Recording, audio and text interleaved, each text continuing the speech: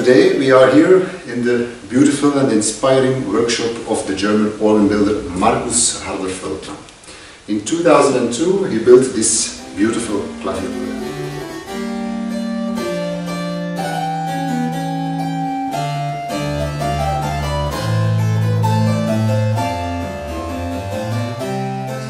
These instruments appear as early in the 16th century. An entry in the inventory of Henry VIII proves their existence and frequent use. Even in the late 18th century, the instrument appears in Dom Bédos' L'Art du Facteur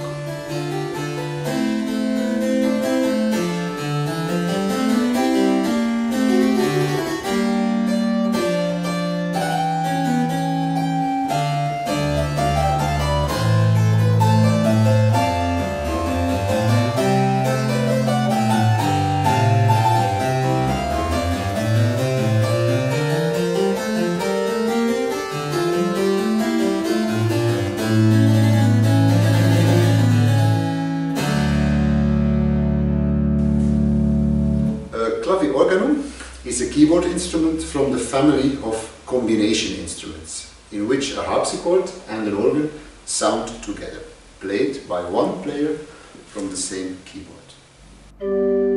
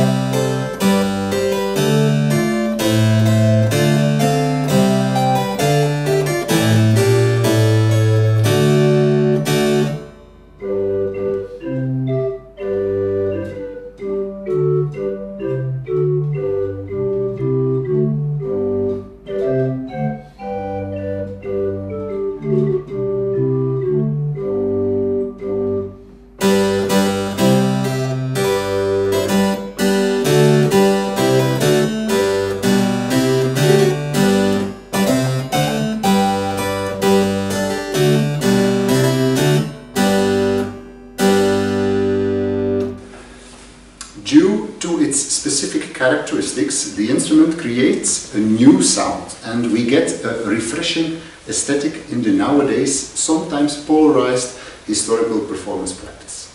The instrument was used in both solo, repertoire and in an ensemble context.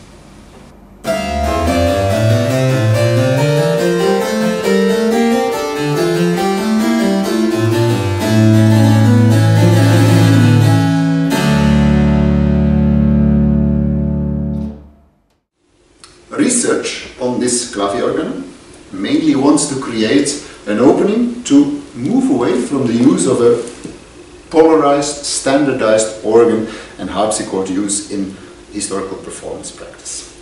The 17th century was the century of experiment and pushing boundaries, where instrument builders, and more specifically keyboard builders, were looking for an instrument that could give an answer to the musical needs of the performer in their search for more dynamic and personal musical emotion. So definitely worth discovering.